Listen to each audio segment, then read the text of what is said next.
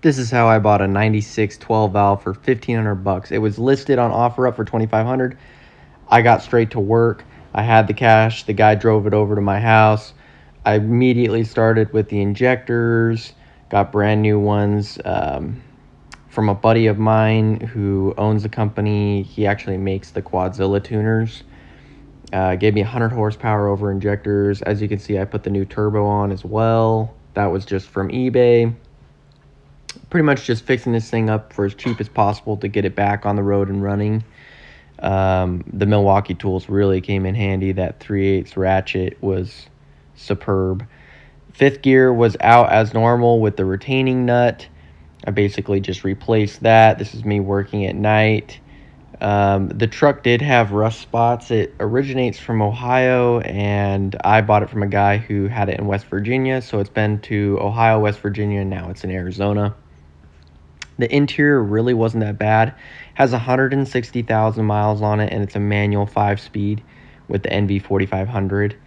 Uh, planning on doing fuel updates, mods. This is my friend's third gen, uh, 2003, 24 valve compound turbo. Um, pretty sweet rigs.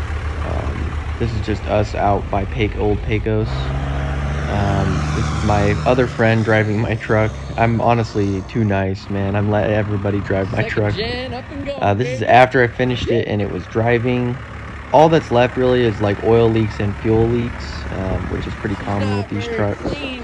So I'll redo the um, pretty much the seals on the oil pan and the timing cover. Uh, probably redo the fuel line underneath the truck and uh, get this thing going. I carry oil in my truck all the time. But, Um, uh, yeah. What was really interesting with this truck is I got it for fifteen hundred bucks, and the tires have really good tread on them. up the tires So not it was rusty, but like everything else was pretty good. I knew I was gonna have to do the injectors and turbo anyways.